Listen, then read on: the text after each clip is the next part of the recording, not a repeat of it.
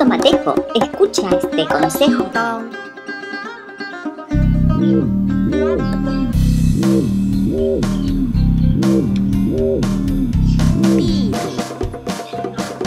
Come con cordura y evitas la cordura y además tirar alimentos a la basura.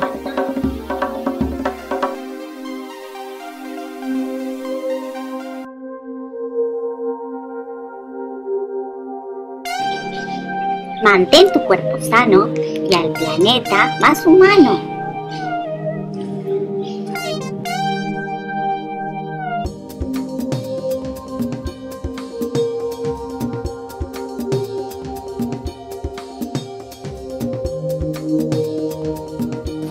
Adiós.